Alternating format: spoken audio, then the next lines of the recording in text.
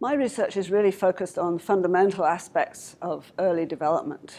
So as a graduate student, I started working on the mouse blastocyst because I was fascinated by the problem of how a single uh, cell, the fertilized egg, develops into a whole organism like ourselves. It's a very nice, simple system to address fundamental questions of how development occurs.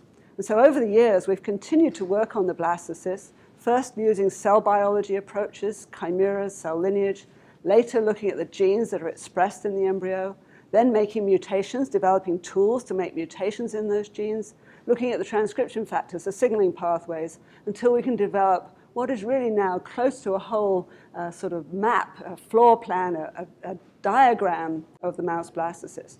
So my research has been fundamental research, really, trying to understand how an embryo develops. But along the way, as with most fundamental research, it's had impact beyond the discovery and has clinical implications. As well as doing research, it's been my privilege over the last 10 years to serve as the head of the Research Institute at the Hospital for Sick Children. It's a great institution, it's a great research institute, and it's really allowed me to see how important research is to delivery of care and to improving the lives of children.